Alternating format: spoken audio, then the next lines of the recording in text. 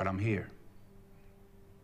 And I'll be here for at least the next four or five years. And that's fair.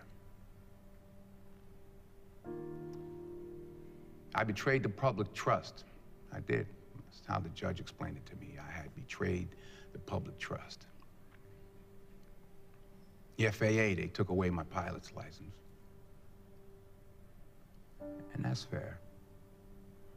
My chances of ever flying again are slim to none. And I accept that. I've had a lot of time to think about it, all of it. Been doing some writing. I wrote letters to each of the families that had lost loved ones, and some of them were able to hear my apology. Some of them never will. I also apologize to all the people that tried to help me along the way, but I couldn't or wouldn't listen.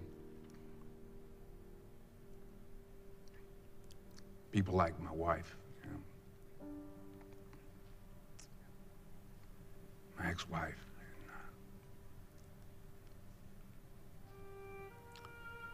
son.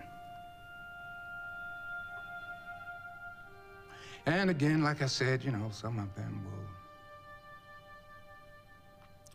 never forgive me. Some of them will. But at least I'm sober. I thank God for that. I'm grateful for that.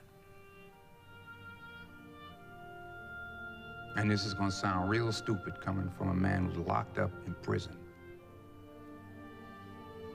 But for the first time in my life, I'm free.